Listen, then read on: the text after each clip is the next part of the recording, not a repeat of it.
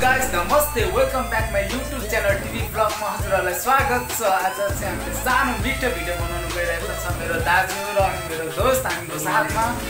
अनि साथीहरू आज चाहिँ एकदम इन्ट्रे इन्ट्रेस्टिङ भिडियो बनिरहेको छ। हजुरहरूले हेर्न सक्नुहुनेछ र हामी तिन दाजुभाइ आज इन्ट्रेस्टिङ कफीको साथमा रमाइलो गर्दै आज कफी पनि पाक्दैछ र अनिखेरि हामी चाहिँ एकदम मिठो मिठो भिडियो लिएर आइरहनेछौँ। र मेरो दाजु हुनुहुन्छ एकदम क्यामेराको लागि एकदम सपोर्ट म्यान हुनुहुन्छ। मेरो चाहिँ साथी हुनुहुन्छ एकदम डाइरेक्टर जस्तो उहाँले चाहिँ यस्तै बनाउने भनेर मलाई टिच गरिरहनु भएको छ। हामी दुई तिन दाजुभाइ आज सानो मिठो भिडियो बनाउनु लिएर आएको छौँ र हजुरले फुल भिडियो हेरिदिनु होला है त।